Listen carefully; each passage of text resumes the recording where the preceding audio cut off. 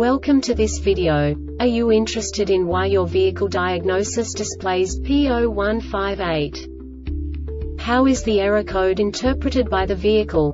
What does P0158 mean, or how to correct this fault? Today we will find answers to these questions together. Let's do this.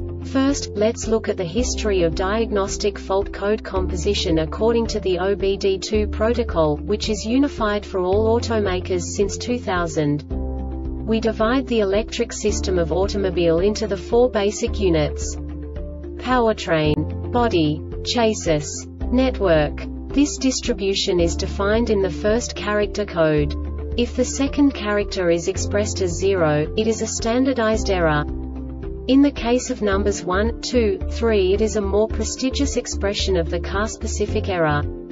The third character specifies a subset of errors. The distribution shown is valid only for the standardized DTC code.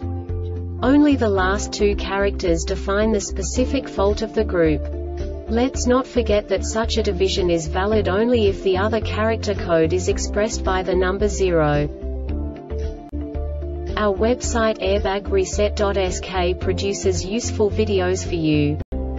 You do not have to go through the OBD2 protocol anymore to know how to troubleshoot any car breakdown. You will find all the diagnostic codes that can be diagnosed in a Suzuki vehicles.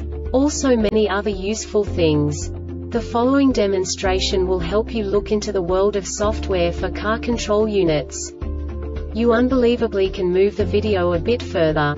The error code is split into two bytes consisting of 16 bits. One bit is the basic unit that each computer works with. The bit has two logical states. 0, low level, 1, high level. By combining the first two bits, the basic character of the error code is expressed. The next two bits again determine the second character. The last beat styles of the first byte define the third character of the code. The second byte is composed of a combination of 8 bits. The first 4 bits determine the fourth character of the code. And the combination of the last 4 bits defines the fifth character. A single byte conceals 256 possible combinations. We now know in what way the diagnostic tool translates the received information into a more comprehensible format. The number itself does not make sense to us if we cannot assign information about it to what it actually expresses.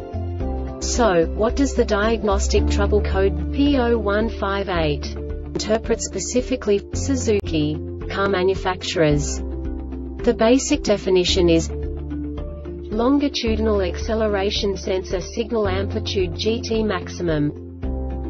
And now this is a short description of this DTC code. This DTC sets if the absolute value of the yaw rate, lateral acceleration or longitudinal acceleration message from the RCM is outside of the maximum allowable range. The Airbag Reset website aims to provide information in 52 languages. Thank you for your attention and stay tuned for the next video.